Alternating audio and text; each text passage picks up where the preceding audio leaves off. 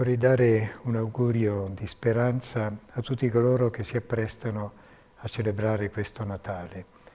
Non lo do con parole mie, bensì con la parola di Dio che ascolteremo la notte di Natale.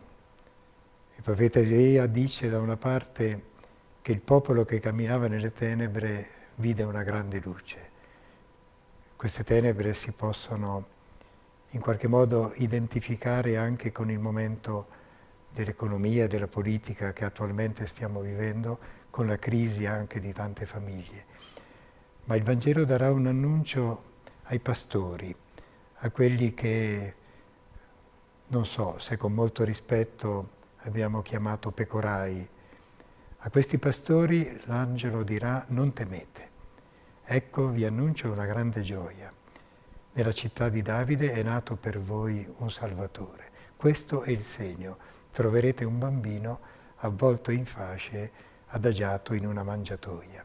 Non temete, non temete è davvero un messaggio importante in questo momento, quando la politica, l'economia ci chiedono sacrifici, sacrifici, sacrifici, poi magari si scusano, Molto spesso la Chiesa è stata accusata di chiedere sacrifici, in realtà la Chiesa chiede una conversione del cuore e la chiede presentando un messaggio di gioia, una grande gioia. Ed è la gioia che deriva dall'essere solidali, da ritrovarsi seppure nelle, nella povertà, nella debolezza. È a questo punto che il denaro e tutte le altre cose acquistano un valore diverso se i poveri sono accolti nella società civile, nella comunità cristiana, perché innanzitutto a loro si rivolge il messaggio del Natale, la solidarietà diventa solidale. Se può sembrare la stessa cosa, ma talvolta c'è una solidarietà che fa male ai poveri e c'è una solidarietà che fa bene ai poveri.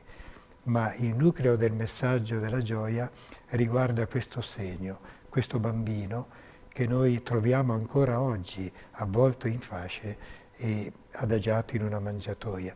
Vorrei chiedere a tutte le famiglie, soprattutto a quelle che sono più in difficoltà, che ricorrono anche all'aiuto della comunità cristiana, all'aiuto delle istituzioni civili per quanto è possibile, vorrei chiedere ai genitori di guardare i loro figli, di intravedere nella presenza di questi figli la presenza di Dio, del Dio che si è fatto uomo, del Dio che si è fatto bambino, del Dio che si è fatto debole per noi.